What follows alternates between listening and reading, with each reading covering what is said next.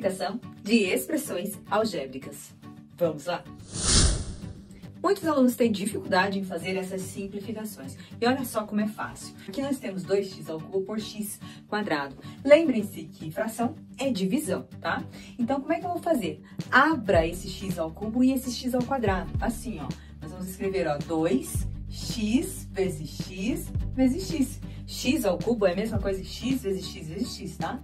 Embaixo você vai fazer a mesma coisa, ó. x vezes x, porque nós temos x ao quadrado. E agora fica bem fácil, ó, porque esse e esse aqui, ó, simplificando, nós temos 1, né? E o 1 aqui não vai aparecer, tá? E aí nós temos aqui também, ó, vai dar 1, restando só o 2x. E 2x que divide por 1, na verdade, que não vai aparecer, né, na divisão, então é 2x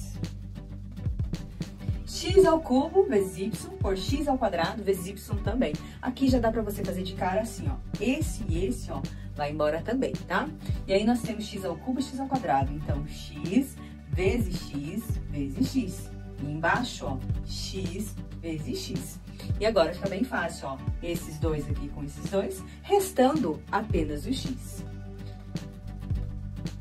Que é a resposta, então, dessa segunda. Bom, vamos para a última. Então, nós temos 4 em cima e 8 embaixo. Olha só, já dá para simplificar. O 4 eu consigo dividir por ele mesmo, que dá 1. E o 8 por 4 vai dar 2, tá? Então, nós ficamos com meio. E aqui, x com x ó, posso simplificar também direto, que vai dar 1.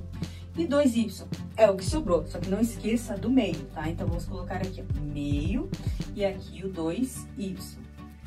Vou dar uma arrumadinha. Olha só, esse doisinho com esse doisinho também, ó, foi embora. Restando apenas o 1 vezes o y. E 1 vezes y, pessoal, é a mesma coisa que y. Lembra que o 1zinho não aparece na frente da letra, tá?